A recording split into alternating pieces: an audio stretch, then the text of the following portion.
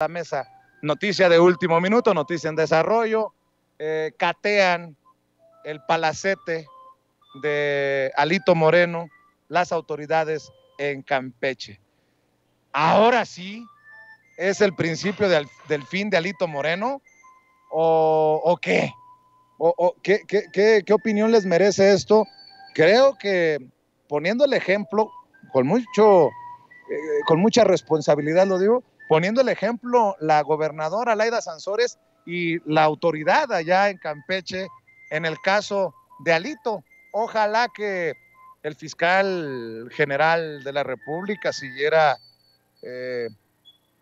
el ejemplo y le diera celeridad, que ya también le ha pedido el presidente Andrés Manuel López Obrador, a casos importantes o de personajes mediáticos relevantes como este. Eh, escucho tu opinión, licenciada Laura Ceballos. Pues mira, de parte de Alito y de su banda del PRI, vamos a estar oyendo estos lamentos, este rechinar de dientes, acusando al gobierno, además lo hacen federal, eh, acusando al gobierno de Andrés Manuel, primero de dividir, después de eh, pues meterlo en una, eh, en una situación de montajes, eh, acusándolo falsamente de redistribuir el presupuesto con cargo a su bolsillo. Y la verdad es que no se da cuenta que sus escándalos ni, ni pertenecen a este sexenio, sino que vienen de cuando él fue pues gobernadrón y que se comprueban con sus propias voces y las propias grabaciones que hoy la gobernadora ha presentado, sí con muchos más pantalones que muchos de estos señores de la ley y de la justicia en México, eh, pero no tiene tres días que presentó la denuncia. Ella está presentando estos audios, los que ella dicen que son los más light,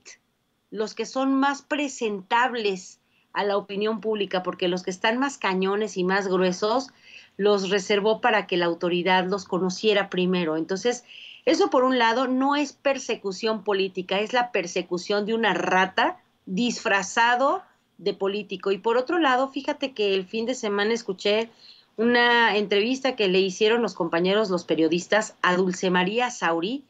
y yo de verdad iba de hito en hito porque incluso ella aceptó que si estuviera en los pantalones o en las chancletas de Alito Moreno, ella hubiera sido la primera en renunciar en aras de proteger al partido, pero lo que estamos viendo es que el partido es mero parapeto, lo que este sujeto está abrazando pues es un fuero que tiene para protegerse de una persecución por rata, no es un perseguido político que no nos quieran vender el cuento. Y a mí me da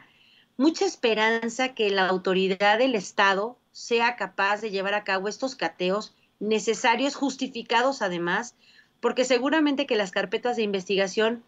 permitieron pues que la autoridad del, de, del Poder Judicial les obsequiara esta orden de cateo y que tumbaran puertas y, y, y, candados si era necesario y no les abrían. Esta no es una intromisión y es una falta de, de respeto a su propiedad privada. Es que así lo dice la ley, que cuando tú vas a, a, a realizar un cateo y no te abren, la autoridad, el actuario y la, la policía tiene el derecho de romper las puertas, los candados, rejas, cadenas, lo que tengas tú Laura, para llevar este cateo. Perdón por interrumpir.